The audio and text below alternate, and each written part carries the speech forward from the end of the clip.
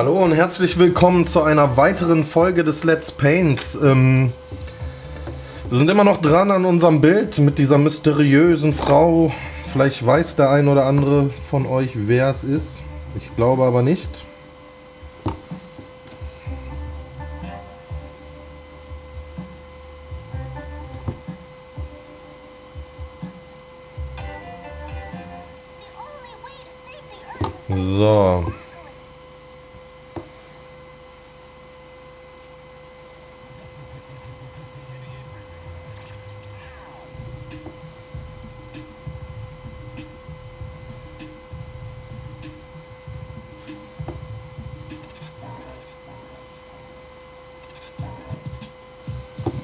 Wir ziehen die Blöcke einfach mal zu Ende durch.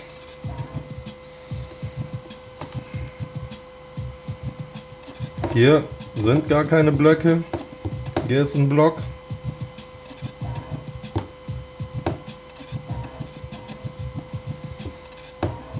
Hier geht ein Block weg.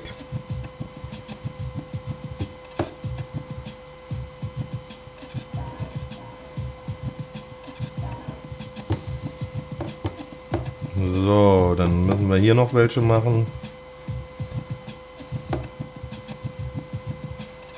Ja, hier wird ja so die dickste Stelle sein von dem ganzen Gedöns.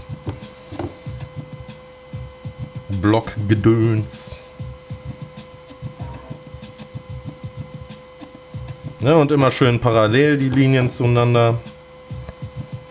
Ne, dann kann eigentlich gar nichts schief laufen.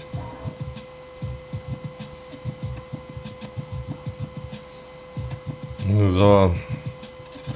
Ich weiß auch gar nicht, ob ich hier um die Ecke malen werde. Kann alles schön brav der Zukunftszeig entscheiden. Übrigens schöne Grüße an O2. Der meinte, ist das nicht ein bisschen schizophren, äh, von einem Zukunftszeig zu sprechen? Dann habe ich ihm erstmal erklärt, dass, dass das Problem bei dieser ganzen Geschichte ist, dass ich mich von Zeiten lösen muss, weil ich nehme ja zu ganz anderen Zeiten auf, wie ihr die Sachen sieht. Ja, und wenn ich jetzt, sagen wir mal, heute und morgen aufnehme und ich sage, dann mache ich morgen, dann denkt ihr, das ist morgen, also in der nächsten Folge, die ihr seht. Nein, es kann ja sein, dass ich heute noch fünf Folgen aufnehme danach. Und dann erst, äh, ne, ihr, ihr wisst, was ich meine. Und ähm, ja, das hat er dann auch verstanden. Hier dürfte eigentlich gar keiner einkriegen. Ja gut, hier unten mal so ein bisschen. Hier sind wir im Style-Bereich.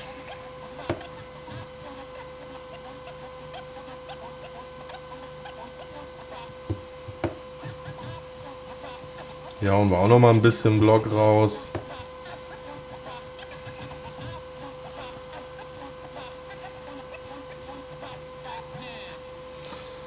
So, ich überlege gerade, ob ich die hier überhaupt anskizzieren muss, aber wir machen es mal einheitlich für das LP.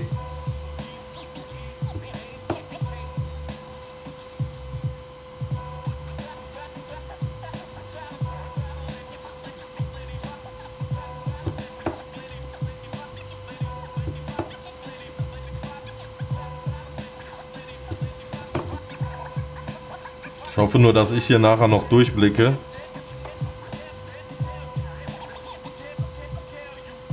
Sonst müsst ihr mir helfen, wisst ihr ja.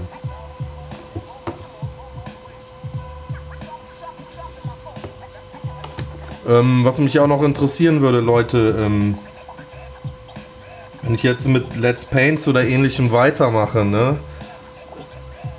Ist das zu viel jeden Tag eine Folge? Oder ich weiß nicht, also ich glaube, wenn ich so dreimal die Woche nur eine Folge rausbringen würde hiervon, dann würde äh, zu viel Abstand in der Zwischenzeit dazu entstehen und dann wird es wahrscheinlich gar keiner mehr gucken. Oder die Leute hätten genug Zeit, um zu gucken. Ja, und ähm, ja, sagt mir das mal bitte, was, was ihr da so von haltet, denkt, etc.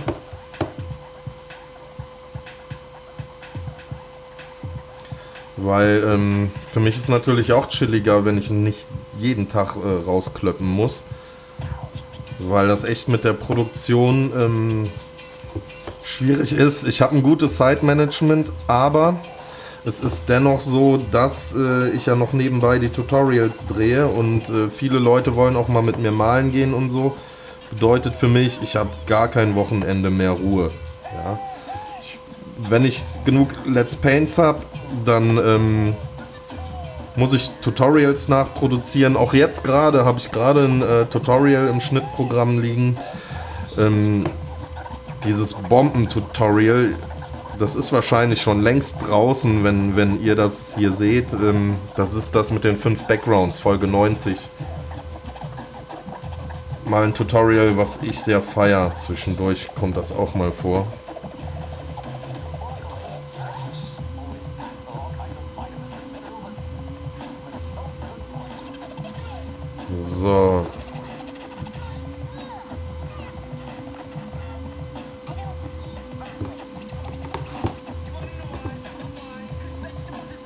Denke mal, mit dem Style, mit der Vorskizzierung sind wir jetzt soweit erstmal fertig. Alles in allem. Und ähm, ja. Jetzt muss ich mal auf die Uhr schauen, liebe Freunde. Ach, wir sind erst seit sechs Minuten dran. Das ist ja easy. Mal gerade gucken, ähm, was ich mir noch aufgeschrieben habe. Eigentlich gar nichts. Oder?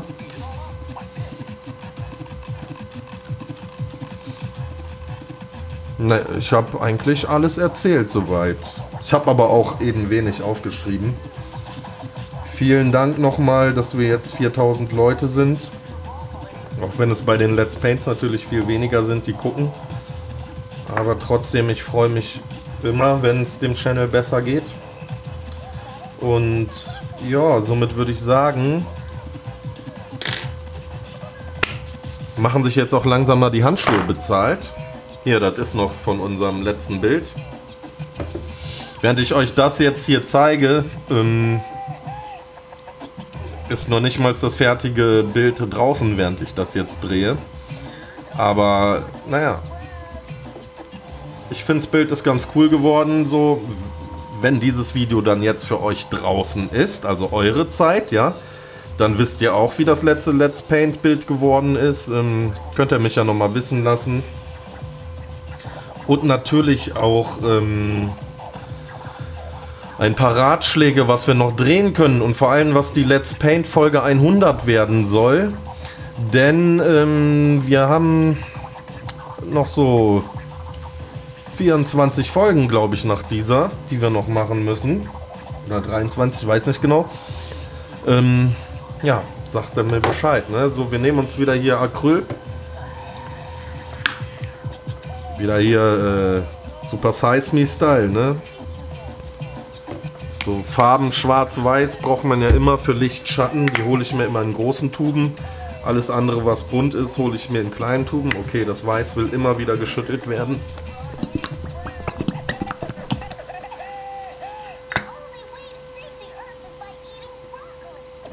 So. Und ich würde sagen, Leute, lasst uns starten und zwar mit dem Charakter. Ich hole mal mein Handtuch. So sieht das mittlerweile aus hier. Da nehme ich mir aber jetzt eine frische Seite. Frisches LP, frische Seite, sehr gut.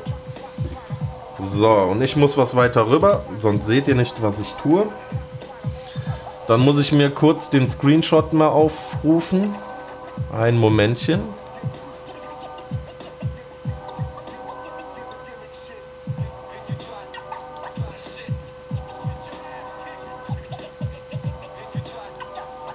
Okay. Oh, wunderschöne Frau. Sie lebt leider nicht mehr, glaube ich. Aber ich werde trotzdem nicht verraten, wer es ist.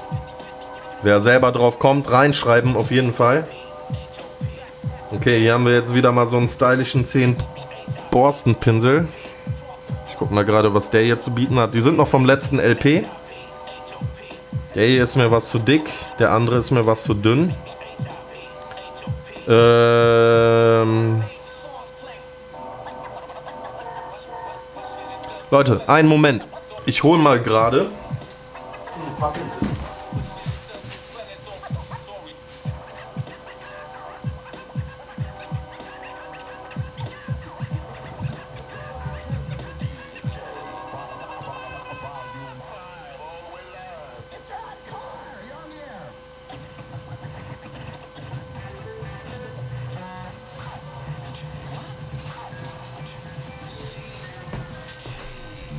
Jo, da bin ich auch schon wieder mit ganz vielen Pinseln. Ich muss mal gerade gucken, was wir denn verwenden.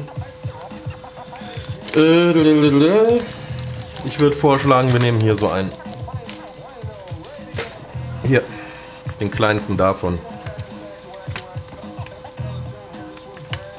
Wie gehst denn du auf, Kollege?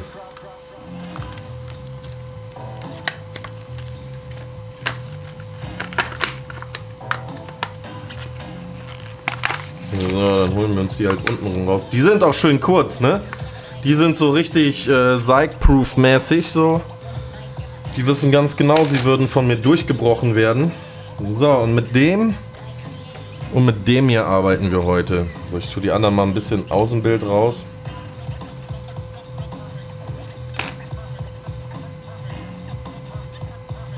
Und wir fangen mit dem größeren an und zwar mit weiß trocken.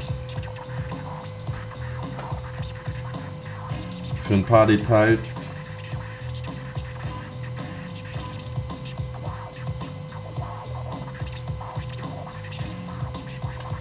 Ich habe das nur grob vorskizziert. Trotzdem hat es über eine halbe Stunde gedauert, wären also über zwei Folgen nur für diesen Charakter. Dachte ich, ist einfach zu viel. Ich will euch ja nicht langweilen. Wenn ich demnächst Charakter auch vorskizzieren sollte, ich weiß gar nicht, habe ich das irgendwo schon gemacht? Ich glaube nicht. Ein bisschen hier im, äh, in unserem Reaktorbild, aber kann ich auch gerne machen. Ist ja eure Zeit, müsst ihr entscheiden.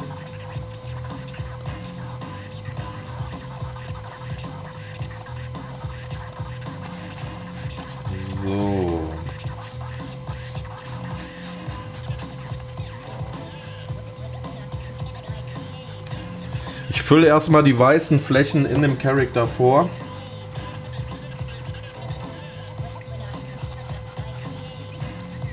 Und werde auch gleich da noch die ersten Schatten direkt mit einbauen, aber erstmal nur die weißen Stellen. Damit überall schon mal Farbe liegt. Ne, das müssen wir mit der Leinwand machen. Das gibt ein besseres Gesamtbild. Die ganze Leinwand muss mit Farbe bedeckt sein. Steht uns also bei diesem Bild auch bevor. Die Seiten lasse ich wieder weg. Ne? Das hatten wir ja schon besprochen. Das will ich euch nicht auch noch antun, weil der seht ihr wenig und äh, es ist auch nochmal sehr zeitintensiv.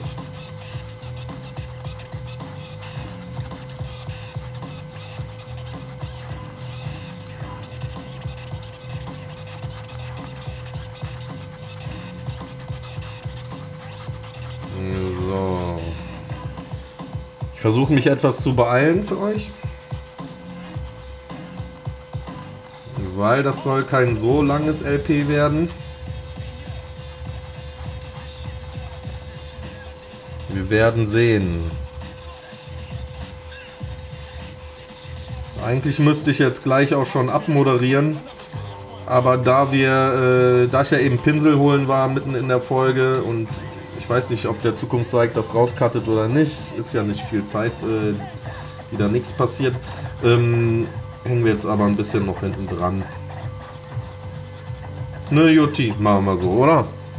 Ja, kann ich schon meinen. Ach ja, übrigens, Leute, es wird wahrscheinlich schon ein Ankündigungsvideo rausgekommen sein oder wir haben das Ganze komplett gecancelt. 29.08. 3D LK Jam in Bonn. Kommt vorbei. Ihr könnt da zelten, ihr könnt, wenn ihr euch bei mir anmeldet, eine Fläche zum Malen kriegen. Die Guten können sogar auf der zweitgrößten Outdoor Halfpipe Europas malen, auf der ich auch malen werde. So, hier sind wir noch unterwegs. Das wird Hals hier unten. Wie gut, dass ich den Typen kenne, der das hier vorskizziert hat. Das ist nämlich der Vergangenheitsseig. Da macht das alles mehr Fets, das auch jetzt hier schnell nachzuarbeiten, weil der Zukunft, äh, der Vergangenheitsseig mir natürlich so ein paar Infos gegeben hat, was hier was sein soll und was was ist.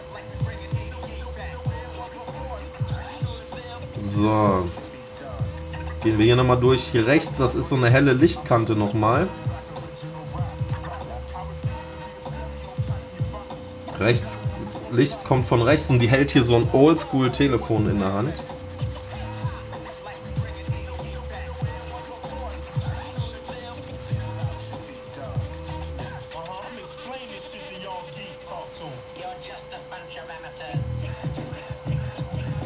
Boah, und ich hoffe, Leute, dass mein Router da ist, wenn ich da morgen hingehe. Ey, das ist voll der Krampf. Ich habe den Typen gesagt, hier liefert zu meinen, äh, zu meinen Eltern bitte das Ding so, weil ich bin immer arbeiten. Adresse eingetragen, alles pipapo, so. Typ natürlich hat's voll verrafft, so. Dann rufe ich da an, weil nichts ankommt und nichts ankommt und äh, ja, nö, also da ist ihre Adresse eingetragen, sie waren nicht da. Ne, also, Oh, ich hasse sowas.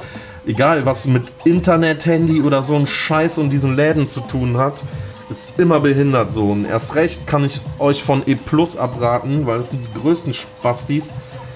Die haben damals einfach meinen Handyvertrag äh, gesperrt, obwohl ich immer bezahlt habe und haben mir auf einmal eine 600 Euro Rechnung für SMS geschickt. Dabei hatte ich eine SMS flat.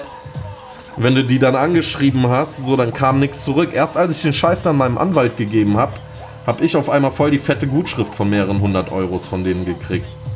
Also passt auf, Leute, die versuchen euch heutzutage abzuzocken, wo es nur so geht. So. Und das finde ich echt fies, weil ich war da jahrelang Kunde und dann so eine Scheiße, echt. Base, Alter. Würde ich im Leben nicht mehr hingehen.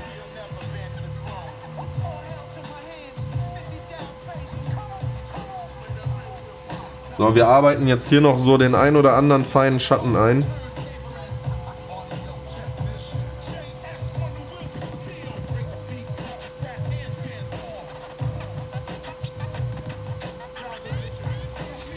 Gesicht werde ich nur mit sehr wenig Schatten arbeiten, weil ich das Ganze mehr so überbeleuchtet halten möchte.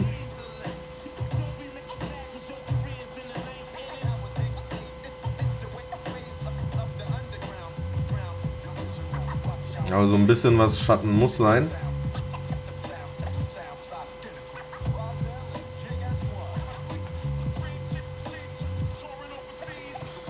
So. Ja, so kommt das schon.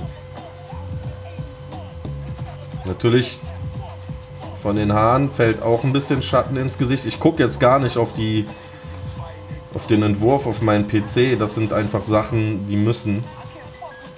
Das ist bei allem gleich. Deswegen ähm, brauche ich da auch nicht gucken.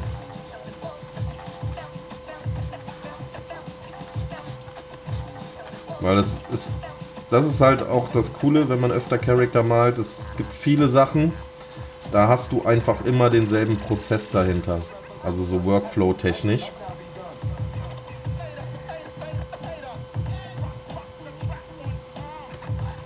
So, jetzt brauche ich mal einen dünneren Pinsel. Weil ich würde sagen, wenn wir schon dabei sind, fangen wir auch direkt an und machen noch ein bisschen äh, mit dem Rest weiter. Leute, ich sehe schon wieder, ihr habt mir nicht Bescheid gesagt, wir sind wieder drüber. Warum macht ihr denn sowas immer mit mir?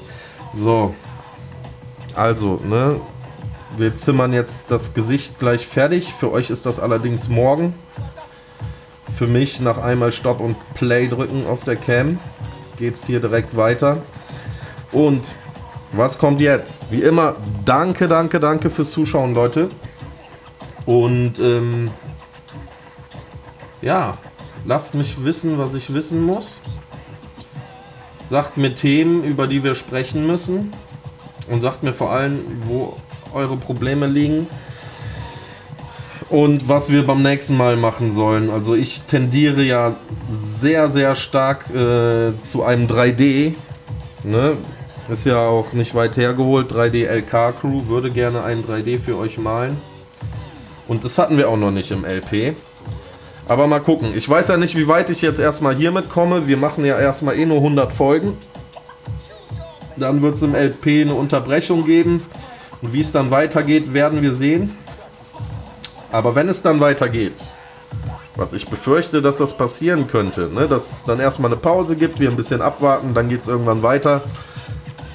Dann glaube ich, starte ich die zweite Staffel direkt mit einem ähm, 3D oder mit was richtig krassen Charaktermäßigen. Und ähm, ja, dann werden weitere 100 Folgen produziert und dann schauen wir mal, wie es läuft und so weiter. Ihr kennt das Spiel. Ich sage euch danke fürs Zuschauen und wir sehen uns beim nächsten Mal wieder und zwar morgen. Ciao.